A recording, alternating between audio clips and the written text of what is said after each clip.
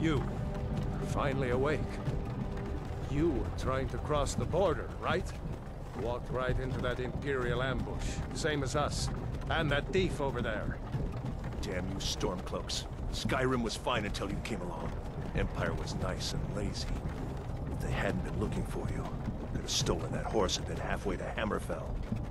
You there, you and me, we shouldn't be here. It's these Stormcloaks the Empire wants.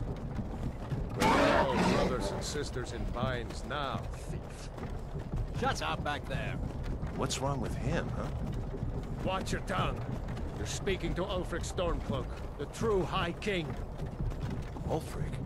The Jarl of Windhelm? You're the leader of the rebellion. But if they've captured you...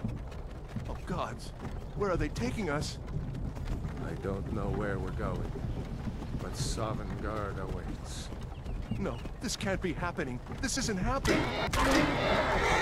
Hey, what village are you from, thief? Why do you care? A Nord's last thoughts should be of home. Rorikstead. I'm... I'm from Rorikstead.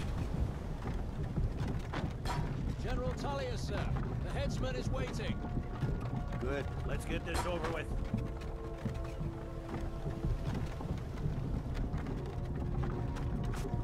Shor, Mara, Dibella. Divines, please help me.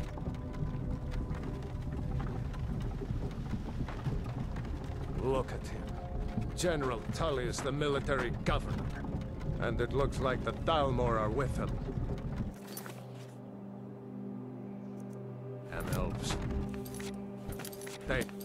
Some... To do with this.